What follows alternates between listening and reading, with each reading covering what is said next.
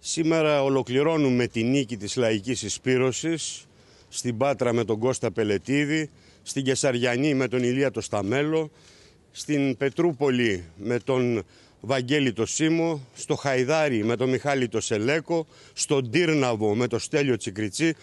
και σε όλες τις υπόλοιπες περιπτώσεις εκφράζουμε την καταδίκη μας στην αντιλαϊκή πολιτική συνολικά στους εκπροσώπους όλων των άλλων συνδυασμών.